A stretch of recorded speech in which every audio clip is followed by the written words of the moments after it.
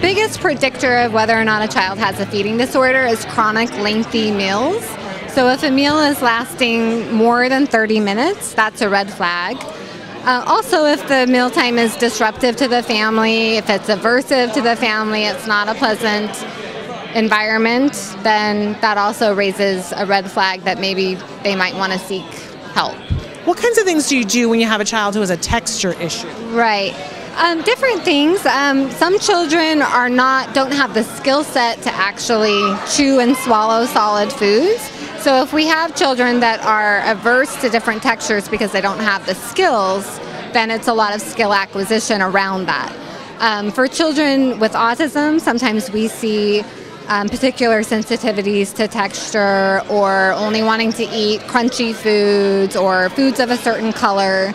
And that is generally more of a behavioral issue. So the treatment for that would, would be different. Um, so it's not necessarily a, a skill deficit as it is a resistance for parents who really want some hope that if they get some help, what's the likelihood that they'll see some improvement? Right.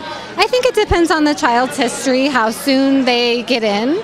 But every child is different. Some children take longer than others, and that depends on the nature of their feeding disorder, um, how long it's been, and things like that. So, but I mean, we continue to try things until we find something that does work.